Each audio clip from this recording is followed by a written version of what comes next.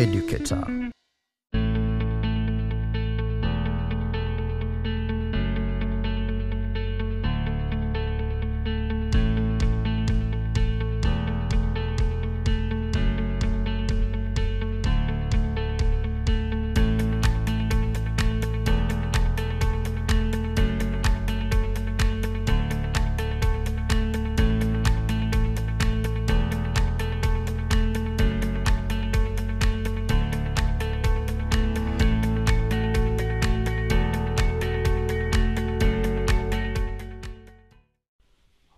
Hujambo mwanafunzi na karibu katika kipindi kingine cha leo. Na katika kipindi hiki tunaendelea kudurusu kuhusu sehemu mbalimbali ambazo tumekuwa tukijifundisha hapo awali. Katika hiki kipindi cha kudurusu tunaangalia kwa kina na kwa ndani kabisa kuhusu masuala mbalimbali ambayo tumekuwa tukijifundisha. Kipindi cha leo ningependa tuangazie semi, na tunapozungumzia kuhusu semi uh, kuna maswali mengi ambayo hutokea kutokana na semi.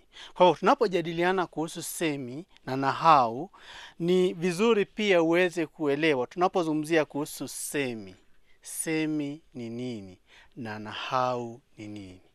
Yote mawili huenda yakasuhubiana ama yana uhusiano fulani, lakini cha msingi kile ambacho nataka ujue ni kwamba wakati nazungumzia kuhusu semi, semi huwa nomino ambazo zinatumika na zina maana ya ndani kabisa, lakini tunapozungumzia kuhusu nahau, nahau huwa ni ni kitenzi na nomino. Kwa hivyo hiyo ndio tofauti, japo yote mawili yanatumika kwa pamoja, kwa sababu ni maneno ambayo maana yake yamejificha.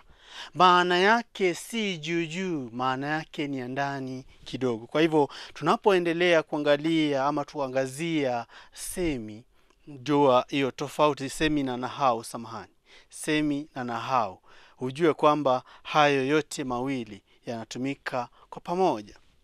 Kwa hivyo swali la kwanza ambalo ningependa litusaidie ama lituelekeze kujua namna ya kukabiliana na maswali ya semi itakuwa kuwa na kichwa chepesi. Ni hilo ndilo swali.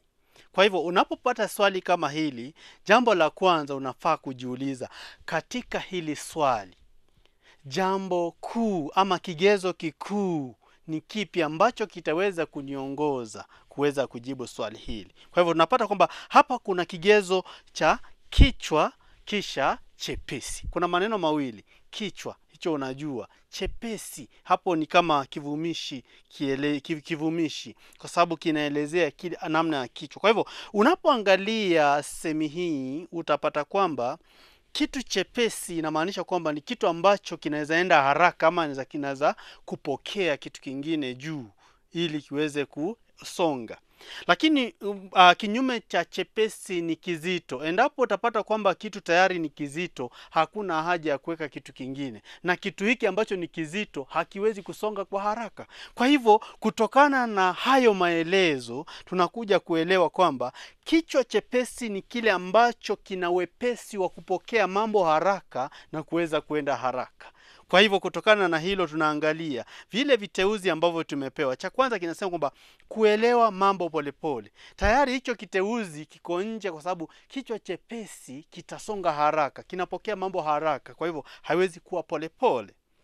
Kiteuzi ba kuelewa mambo sawasawa, hiyo nayo inakaribia kuwa jibu, lakini tutasonga ili tuangalie mbele, kwa sababu tulisema kwamba unapokabiliana na maswali yoyote yale, lazima uangalie viteuzi vyote vile ambavyo umepewa. Usisome cha kwanza cha pili alafu unaona ah, nimefika. La, soma vyote ili uweze kuhakiki ni lipi ambalo ni bora zaidi, kwa sababu kila wakati katika mtihani ama katika maswali ambayo utapewa utapata kwamba viteuzi viwili huwa viko nje kabisa, lakini viwili vinakaribiana, vina ma mawazo ambayo yanakaribiana.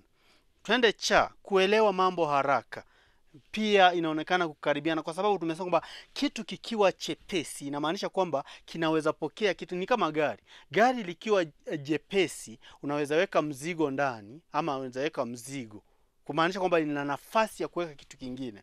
Pia kitu kikiwa chepesi ni rahisi kusonga. Mfano kama uh, uh, unyo, unyoya. Unyoya ni mwepesi, kwa hivyo kupeperushwa ni rahisi zaidi, lakini jiwe linakuwa zito kidogo, haliwezi kupeperushwa.